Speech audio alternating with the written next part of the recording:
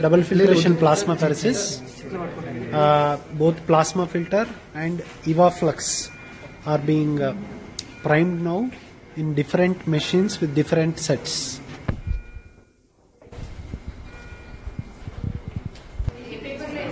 The person behind the effort we see here, Dr. Girish Kumtekar. The circuit of the patient is now connected.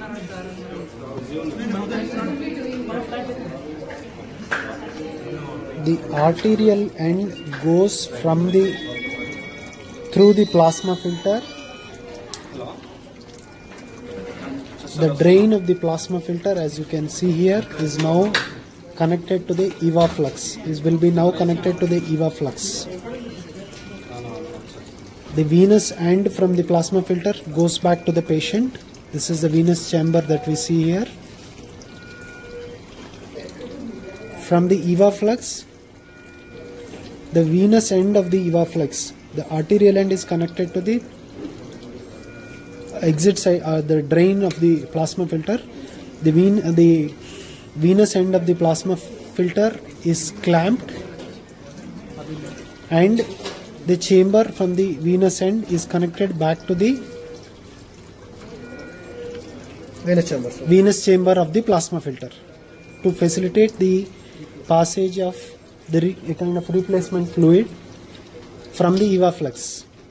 Also, independently, replacement fluid in the form of saline, albumin, and IVIG is connected back to the patient through a separate venous line. venous line, Connected at the venous end through a three way into the into the perm cath of the patient. So this is the DFPP circuit which is connected here. The arterial line going through the pump to the plasma filter, the venous end of the plasma filter, which is returned through the venous chamber into the patient. The plasma which is filtered by the plasma filtered is connected to a arterial end of the circuit of the EVA flux through the pump. The pump speed of the plasma filter is 150 ml per minute while the pump speed of the plasma uh, EVA flux is kept around 30 ml per minute. This is because the uh, plasma which is filtered from the plasma filter has to pass through this so the pump speed is kept at 30 to facilitate slower removal of slower removal of the plasma. The, uh, the arterial end of the plasma of the EVA flux goes through the EVA flux filter and the venous end Is clamped. is clamped. The venous end is, as you can see here, this is the venous end of the EVA flux which is clamped. The idea of clamping the EVA flux venous end is to prevent very fast removal of the fluid and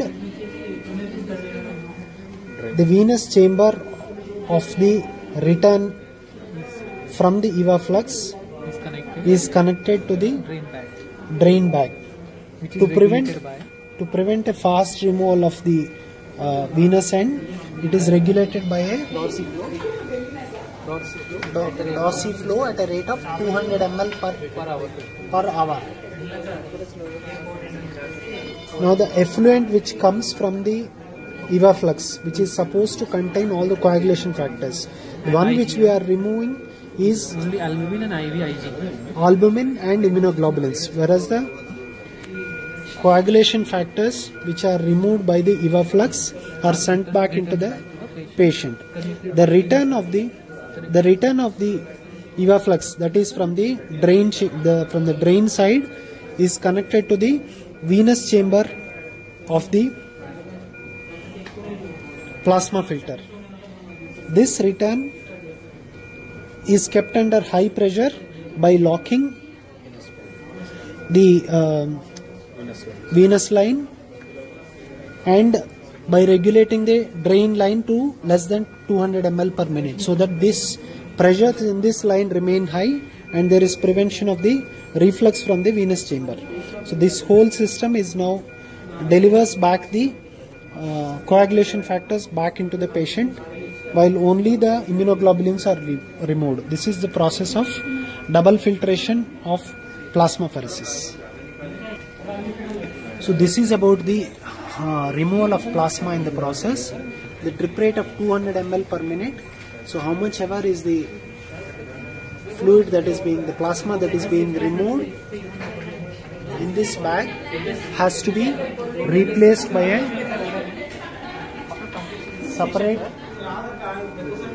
by a separate peripheral line the drip rate of which should match the fluid that is being removed the replacement fluid that is being planned in this patient is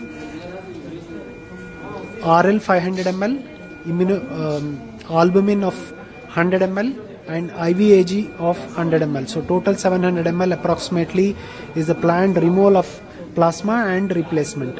So RL will be given first, and the last half an hour of the process. It's a total three hour process. The last three hours, the last half an hour replacement of albumin and IVIG is being planned so that these are not lost during the process of plasmapheresis. This DFPP is followed by a dialysis so that extra fluid of around 1 liter is removed.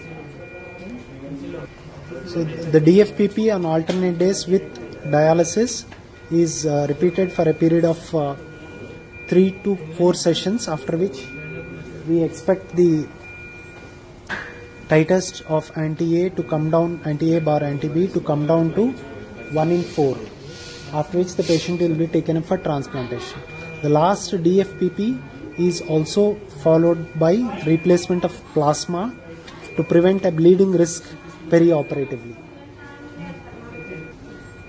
Post-transplant rescue DFPP can be done if titers go beyond 1 is to 32. This is the typical Plasmaflux that we see here. It's a Fresenius polysulfone membrane. It has a TMP max of around 100 mm of mercury.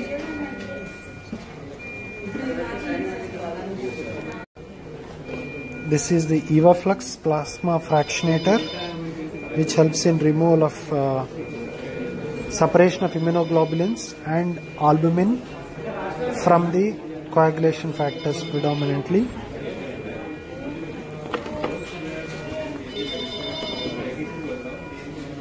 Can't find the membrane type here.